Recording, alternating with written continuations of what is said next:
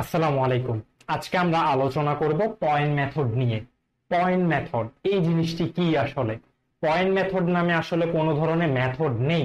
আমরা ডিসি সার্কিটে যেগুলো পড়ি, সেগুলো হচ্ছে সুপার পজিশন থিওরেম পড়ি হ্যাভেনিন থিওরেম পড়ি কেসিএল পড়ি কেভিএল পড়ি নটনস থিওরেম পড়ি, এই রিলেটেড যাবতীয় জিনিসগুলো পড়ি, কিন্তু পয়েন্ট মেথডটি আসলে কি? পয়েন্ট মেথডটি করার জন্য পয়েন্ট মেথডটি কি সেটি আমাকে আগে বুঝতে হবে। সাধারণত আমরা যে মিক্স সার্কিটগুলো করি, অর্থাৎ সিরিজ প্যারালালের যে সার্কিটগুলো করি, সেই সার্কিটে দেখা যায় বিভিন্ন সময় বিভিন্ন জায়গায় অনেক জটিলতার সৃষ্টি হয়। অর্থাৎ আমরা সিরিজ প্যারালাল করতে গেলে দেখা যায় অনেক সময় বিভ্রান্ত সৃষ্টি হয় যে, এটি সিরিজ হবে না, এটি প্যারালাল হবে। এক্ষেত্রে অনেক বিভ্রান্তের সৃষ্টি হয়। এই বিভ্রান্ত থেকে মুক্তি পাওয়ার জন্য মূলত পয়েন্ট মেথডটি করা হয়। পয়েন্ট মেথডটি যদি আমরা অ্যাপ্লাই করি, তাহলে অনেক বড় বড় ধরনের, অনেক জটিল সার্কিটগুলা আমরা খুব সহজে সিম্পলিফাই করে খুব সহজ সার্কিটে পরিণত করতে পারব। এখন এই পয়েন্ট মেথডটি অনেকে অনেকভাবে করে থাকে। আমি আমার জন্য, আমার পয়েন্ট অফ ভিউ থেকে আপনাদের জন্য এই পয়েন্ট মেথডটি করার জন্য কিছু স্টেপ নিয়ে আসব। এই স্টেপগুলো যদি ফলো করি, তাহলে পয়েন্ট মেথডটি খুব সহজেই করা যাবে। চলুন তাহলে শুরু করা যাক। আমার স্টেপ ওয়ানটি হচ্ছে যে সোর্সের সোর্সটা আমার দুই ধরনের হতে পারে, একটা কারেন্ট সোর্স আবার হচ্ছে একটা ভোল্টেজ সোর্স সোর্সের দুই প্রান্তে দুটি পয়েন্ট দিয়ে রিপ্রেজেন্ট করব। সোর্সের একটি প্রান্ত যদি আমি এ দ্বারা রিপ্রেজেন্ট করি, তাহলে অবশ্যই অপর প্রান্ত এ ছাড়া বাকি যে কোনো একটি পয়েন্ট দিয়ে আমি রিপ্রেজেন্ট করতে পারব। তাহলে আমি এখানে সোর্সের দুটি প্রান্ত এ এবং বি দ্বারা রিপ্রেজেন্ট করলাম, এখানেও এ এবং বি দ্বারা রিপ্রেজেন্ট করলাম। যদি সোর্সের ভোল্টেজ বা কারেন্ট সেম জিনিস সোর্সের ক্ষেত্রে ভোল্টেজ সোর্স হতে পারে কারেন্ট সোর্স হতে পারে। তাহলে যদি সোর্সের হাতে সিরিজে রেজিস্টর থাকে, তবে রেজিস্টরকে বা রেজিস্টর গুলোকে this point to be noted যে রেজিস্টরকে বা রেজিস্টর গুলোকে এখানে একটি রেজিস্টর হতে পারে বা একের অধিক রেজিস্টরও হতে পারে। যদি সোর্সের সাথে সিরিজে রেজিস্টর থাকে, তবে রেজিস্টরকে বা রেজিস্টর গুলোকে ওই পয়েন্ট দুটির মাঝখানে সংযুক্ত করব। তাহলে কোন একটা সার্কিটের ক্ষেত্রে দেখা গেল যে খুব জটিল একটা সার্কিট যে সার্কিটের ক্ষেত্রে যে সোর্সের সাথে সিরিজে একটি, দুটি, তিনটি, চারটি যতগুলোই থাকুক না কেন, সিরিজে কয়েকটি রেজিস্টার আছে। সেগুলোকে, এই সিরিজ রেজিস্টার গুলোকে আমরা সোর্সের যে দুটি প্রান্ত দিয়েছিলাম দুই প্রান্তে, এই দুইটি প্রান্তের মাঝখানে ইনক্লুড করে দিব। তাহলে এটি হচ্ছে আমার এ প্রান্ত বি প্রান্ত। ভোল্টেজ সোর্সের ক্ষেত্রে সেম হিসাব। এখন আপনারা প্রশ্ন করতে পারেন যে আমি কেন এই জিনিসটি করলাম? আমরা এর আগে দেখেছি যে সিরিজের ক্ষেত্রে টোটাল রেজিস্ট্যান্স বের করাটা হচ্ছে R one plus R two plus dot dot dot dot অসীম পর্যন্ত যতগুলোই থাকুক। তাহলে দেখেন খুব সহজ একটা ক্যালকুলেশন যে দুইটা রেজিস্টার থাকুক বা তিনটা থাকুক বা পাঁচটা থাকুক, দশটা থাকুক, সবগুলোকে যদি আমি সরাসরি বীজগাণিতিক যোগ করি, তাহলে আমি টোটাল রেজিস্ট্যান্স পেয়ে যাচ্ছি।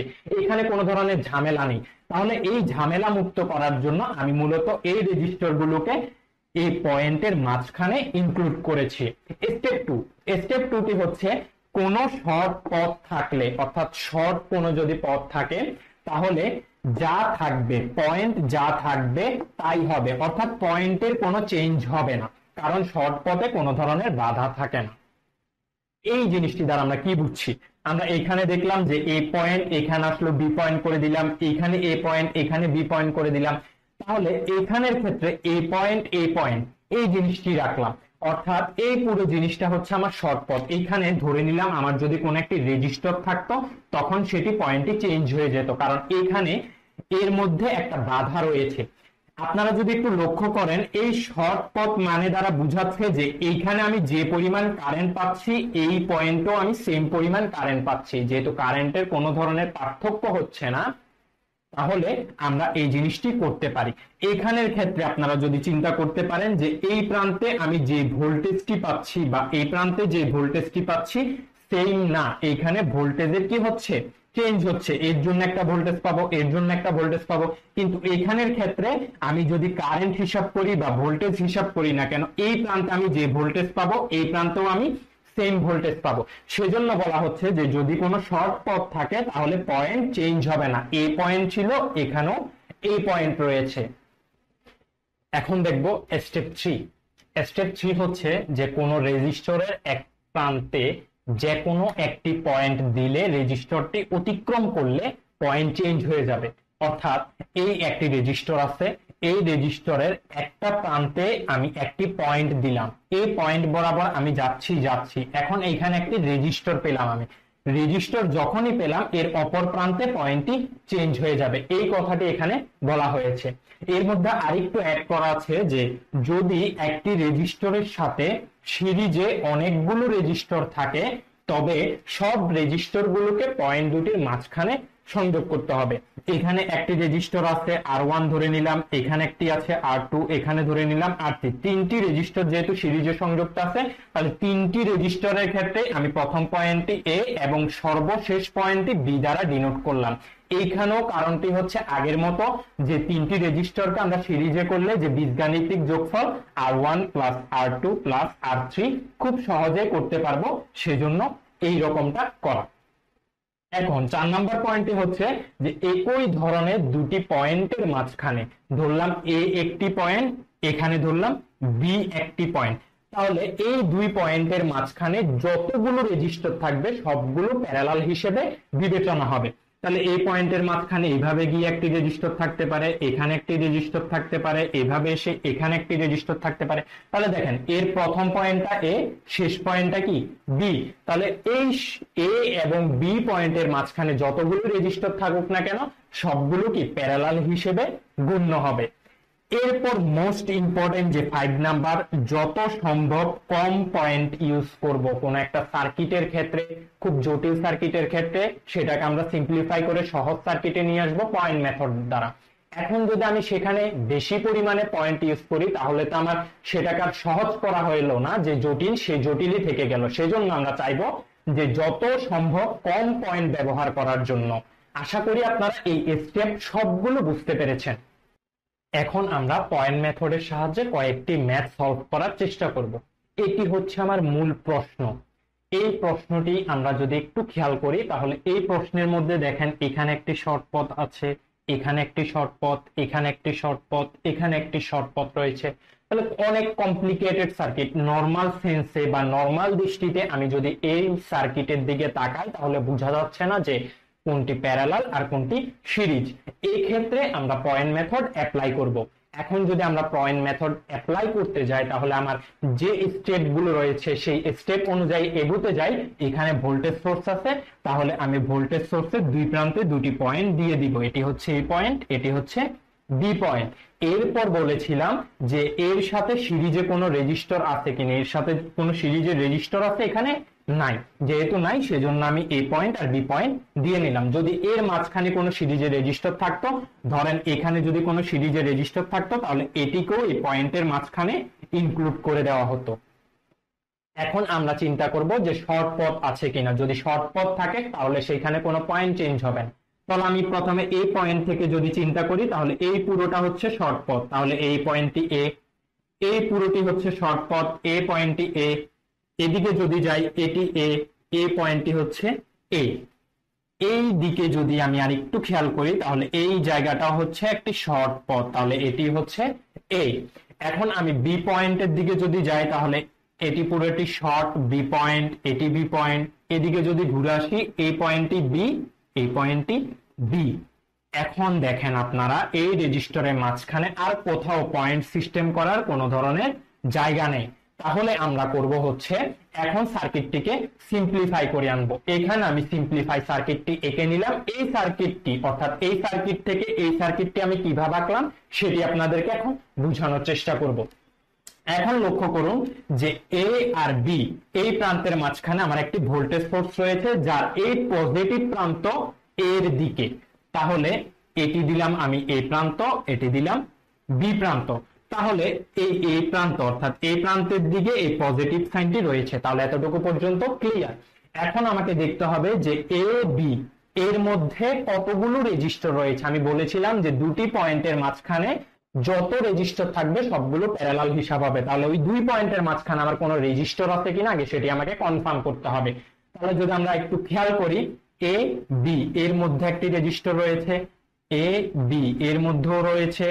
এ বি এটিও রয়েছে এ বি এটিও আছে এবং এটিও আছে। তাহলে এখানে যে রেজিস্টারগুলো আছে, সবগুলোই হচ্ছে এ এবং বি এর মাঝখানে। তাহলে সবগুলো পরস্পরের প্যারালাল তাহলে এ পয়েন্টটি যেহেতু দিলাম, তাহলে এ পয়েন্টটি এ যেহেতু সবগুলো শর্ট পয়েন্ট এগুলো হচ্ছে এ সবগুলো, আর নিচের সবগুলো হচ্ছে বি পয়েন্ট যেহেতু এখানে কোনো ধরনের বাধা নেই। তাহলে আপনারা একটু খেয়াল করেন যে সবগুলো রেজিস্টার এ এবং বি পয়েন্টের মাঝখানে হলো কিনা?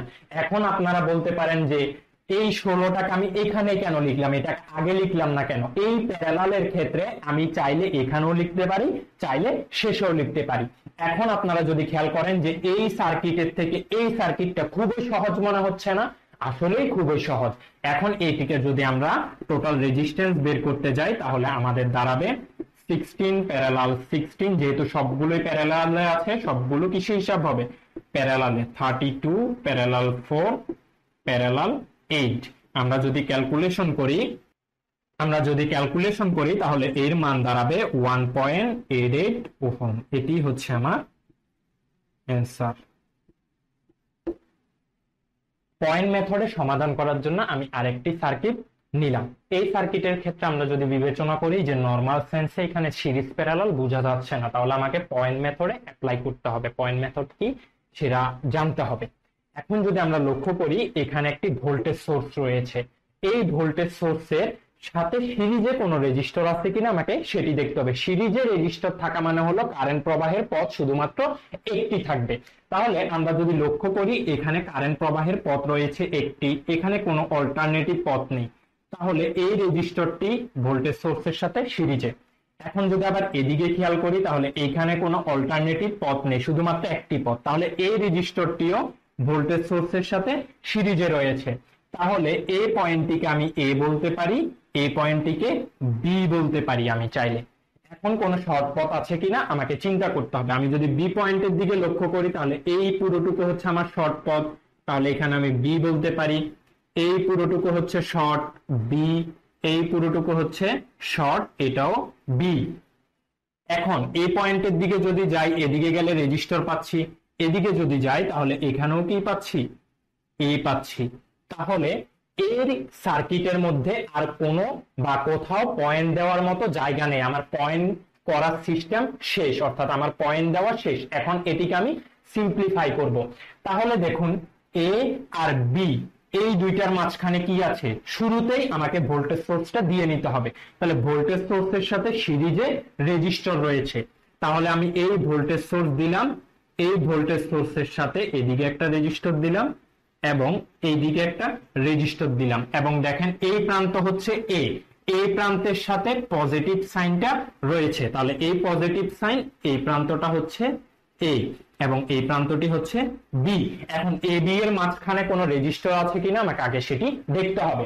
আমরা যদি লক্ষ্য করি, তাহলে এ এবং বি এর মাঝখানে একটি রয়েছে রেজিস্টার এ এবং বি এর মাঝখানেও একটি আছে। এ বি এর মাঝখানেও একটি রেজিস্টার আছে। এই রেজিস্টারগুলো আমার নেওয়া হয়ে গেছে। তাহলে এই যে তিনটি রেজিস্টার রয়েছে, সবগুলো হচ্ছে এ এবং বি এর মাঝখানে। তাহলে তিনটি প্যারালালে সংযুক্ত হবে। এটি হচ্ছে এ পয়েন্ট এটি হচ্ছে বি পয়েন্ট তাহলে এ বি এর মাঝখানে একটি দিলাম, আবার এ বি এর মাঝখানে দিলাম, আবার এ বি এর মাঝখানে দিলাম। এ পয়েন্টটি হচ্ছে বি বি এটি হচ্ছে এ এ এখন দেখুন এই রেজিস্টারের মানটি ছিল ফোর ওহম। এই রেজিস্টারের মানটি ছিল সিক্স ওহম। ভোল্টেজ হচ্ছে হান্ড্রেড ভোল্ট আর যেহেতু এ বি এর মধ্যে তিনটি রেজিস্টার রয়েছে, বিশ হান্ড্রেড টোয়েন্টি ফাইভ আমি আমার মতো করে দিতে পারি টোয়েন্টি হান্ড্রেড টোয়েন্টি ফাইভ তাহলে একটু লক্ষ্য করুন যে এই সার্কিট থেকে এই সার্কিটটি খুবই সহজ। তাহলে আমরা যদি এটা টোটাল রেজিস্ট্যান্স বের করতে যাই R T equal twenty five parallel hundred parallel twenty পুরোটার সাথে সিক্স প্লাস ফোর এটাকে যদি আমরা ক্যালকুলেশন করি, তাহলে অ্যান্সার আসবে টোয়েন্টি ওহম। এটাই হচ্ছে অ্যান্সার এখন আমরা সমাধান করার জন্য আরেকটি সার্কিট নিলাম। আসলে ডিসি সার্কিটটি হচ্ছে যে যত বেশি প্র্যাকটিস করবে, তার আয়ত্ত তত বেশি হবে। তাহলে আমরা এই সার্কিটের দিকে যদি একটু লক্ষ্য করি, এই সার্কিট নর্মালি কিন্তু বোঝা যাচ্ছে না যে কোনটা সিরিজ, কোনটা প্যারালাল তাহলে এটাকেও আমরা পয়েন্ট মেথডে অ্যাপ্লাই করব। তাহলে এখানে আমরা দেখতে পাচ্ছি যে ভোল্টেজ সোর্সের সাথে সিরিজে দুটি রেজিস্টর রয়েছে। তাহলে এই প্রান্ত এ এই প্রান্ত আমি বি দিলাম। এখন যদি আমি একটু লক্ষ্য করি, এখানে কোনো ধরনের এই প্রান্ত থেকে আমি যদি এদিকে যাই, এখানেও রেজিস্টর পাচ্ছি, এই পাশে গেলে রেজিস্টর পাচ্ছি। এই প্রান্ত থেকে এদিকেও রেজিস্টর, এদিকে এদিকে সব দিকে রেজিস্টর পাচ্ছি। তাহলে এইখানে এই দুইটা পয়েন্টে এখন পর্যন্ত আমি কোনো শর্ট পথ পেলাম না। তাহলে আমি বলেছিলাম যে যদি শর্ট পথ না থাকে, তাহলে রেজিস্টর পাস করলেই পয়েন্ট হবে। তাহলে আমি যদি এ থেকে চিন্তা করি যে এখানে একটা রেজিস্টর পাস করল সি দিলাম। তাহলে সি পয়েন্ট থেকে চিন্তা করলে এখানে পুরোটা হচ্ছে শর্ট পথ তাহলে এ পয়েন্টটা সি এটা সি এই পয়েন্টটা সি তাহলে দেখুন, এখানে মাঝখানে কিন্তু আরেকটি পয়েন্ট রয়েছে। এই পয়েন্ট থেকে এদিক থেকেও যেতে পারি, এদিক থেকেও আসতে পারি। তাহলে এই পয়েন্টটিকে আমি নাম দিলাম ডি পয়েন্ট এখন এইখানে পয়েন্ট সিস্টেম অর্থাৎ আরও কোনো যে পয়েন্ট দিব, সেইখানে কোনো জায়গা নেই। তাহলে এতটুকুই হচ্ছে আমার সর্বোচ্চ পয়েন্ট অর্থাৎ আমি যত সংখ্যক কম পেরেছি, তত পয়েন্ট ইউজ করেছি। এই এই সার্কিটটিকে এখন যদি আমরা সিম্পলিফাই করি, তাহলে কি দাঁড়াচ্ছে? এ এবং বি এর মাঝখানে ফাইভ ওহমের রেজিস্টর ফিফটিন ওহমের একটা রেজিস্টর আর সিক্সটি ফাইভ ভোল্টের একটি ব্যাটারি রয়েছে। তাহলে এই রেজিস্টর সিক্সটি ফাইভ ভোল্টের একটি ব্যাটারি আর হচ্ছে ফিফটিন ওহমের রেজিস্টর এটি এ পয়েন্ট এটি হচ্ছে B point five ohm fifteen ohm আর এটি হচ্ছে সিক্সটি ফাইভ ভোল্ট। এখন দেখতে হবে যে এ বি এর মাঝখানে আমার কোনো রেজিস্টর আছে কিনা। তাহলে আমরা যদি এখানে পুরো সার্কিটে লক্ষ্য করি, তাহলে এ এবং বি এর মাঝখানে একটা মাত্র রেজিস্টর রয়েছে। এই ফিফ টোয়েন্টি ফাইভ ওহমের একটি মাত্র রেজিস্টর রয়েছে। তাহলে এটি আমি দিয়ে নিলাম যে এ থেকে বি এর মাঝখানে টোয়েন্টি ফাইভ ওহমের একটি রেজিস্টর রয়েছে। তারপর আমাকে চিন্তা করতে হবে যে আমি কোন দিকে যেতে পারি। আমি যদি এ থেকে চিন্তা করি, তাহলে এ থেকে সি এর মাঝখানে একটা রেজিস্টার রয়েছে, আবার এ থেকে ডি এর মাঝখানে একটা রেজিস্টার রয়েছে। তাহলে আমি এতটুকু পর্যন্ত টানলাম। এ পয়েন্টটি হচ্ছে এ এ থেকে সি এর মাঝখানে আমি একটি রেজিস্টার দিলাম। এই পয়েন্টটি হচ্ছে সি তাহলে এই পয়েন্টের রেজিস্টরের মান হচ্ছে থার্টি ওহম। তাহলে আপনারা দেখুন যে এই সি পয়েন্টটি ঘুরে এসে এখানে এসেছে। তাহলে বি থেকে সি এর মাঝখানেও একটি রেজিস্টর আছে। তাহলে এই বি থেকে সি এর মাঝখানেও আমি একটি রেজিস্টর দিলাম। এটি হচ্ছে আমার বি পয়েন্ট বি থেকে সি এর মাঝখানে রেজিস্টরের মান হচ্ছে টেন ওহম। এখন যদি লক্ষ্য করি, এই রেজিস্টর আমার অঙ্কন করা শেষ, এই রেজিস্টর অঙ্কন করা শেষ, এটি শেষ এটি শেষ এটি শেষ। বাকি রয়েছে টোয়েন্টি টুয়েলভ সিক্সটি তাহলে এ থেকে ডি এর মধ্যে একটি রেজিস্টর রয়েছে। তাহলে এ পয়েন্টটি যদি আমি দিই এ এ থেকে ডি তাহলে এ পয়েন্টটি দিলাম ডি টোয়েন্টি ওহমের একটি রেজিস্টর রয়েছে। আবার যদি লক্ষ্য করি সি থেকে ডি এর মধ্যে এখানে একটি রেজিস্টর আছে, এখানে একটি রেজিস্টর আছে। অর্থাৎ সি থেকে ডি এর মধ্যে দুইটি রেজিস্টর আছে। তাহলে এটি হচ্ছে সি পয়েন্ট এই ডি পয়েন্টটিকে আমি এখানে একটু বর্ধিত করলাম ডি পয়েন্ট তাহলে এর মাঝখানে দুইটা রেজিস্টর রয়েছে। তাহলে এটা সি পয়েন্ট হলে এটিও সি পয়েন্ট এটি ডি পয়েন্ট দুইটি রেজিস্টর, একটি হচ্ছে সিক্সটি ওহম আর একটি হচ্ছে টুয়েলভ ওহম। এখন এই সার্কিটটিকে এখন এই সার্কিটটিকে আমি যদি টোটাল রেজিস্ট্যান্স বের করতে যাই, তাহলে দাঁড়াচ্ছে এই দুইটি হচ্ছে প্যারালাল সিক্সটি প্যারালাল টুয়েলভ তার সাথে হচ্ছে টোয়েন্টি যোগ টোয়েন্টি যোগ করলাম, তার সাথে এখানে একটি রেজিস্টার হয়ে গেল, সবগুলো মিলে এর সাথে parallel parallel thirty plus ten twenty five plus five plus fifteen অর্থাৎ এখানে আমি করলাম এই দুইটি হচ্ছে প্যারালাল এই দুইটি মিলে একটি হয়ে গেল। এর সাথে এ হচ্ছে সিরিজ, এই সবগুলো মিলে একটি হয়ে গেল। এখানে একটি লাইন থাকবে, তাহলে এর সাথে এ প্যারালাল এই সব মিলে একটা হয়ে গেল। তারপর এর সাথে এ হচ্ছে সিরিজ, এই পুরোটার সাথে এ হচ্ছে সিরিজ, এইগুলো মিলে একটা হয়ে গেল আবার। আবার এই পুরো জিনিসটার সাথে টোয়েন্টি ফাইভ প্যারালাল পুরো জিনিসটার সাথে টোয়েন্টি ফাইভ প্যারালাল সবগুলো মিলে একটা হয়ে গেলে এই সবগুলো সিরিজে পুরো জিনিসটার সাথে ফাইভ আর ফিফটিন হচ্ছে সিরিজে। এখন একে যদি আমরা ক্যালকুলেটরে সলভ করি একে যদি আমরা ক্যালকুলেটরে সলভ করি, তাহলে এর মান আসবে thirty two point five ohm. এই হচ্ছে আমার অ্যান্সার আশা করি আপনারা বুঝতে পেরেছেন। পয়েন্ট মেথডে আরও অনেক ধরনের ম্যাথ রয়েছে। আপনারা বিভিন্ন বই থেকে প্র্যাকটিস করতে পারেন। কারণ আপনি যত প্র্যাকটিস করবেন, তত আপনার স্কিলকে বাড়াচ্ছেন আপনি। আপনি যদি প্র্যাকটিস করেন, সেটি কখনো বিফলে যাবে না। আশা করি আজকে যা বুঝালাম পয়েন্ট মেথড নিয়ে আপনারা সবাই বুঝতে পেরেছেন। ধন্যবাদ সকলকে।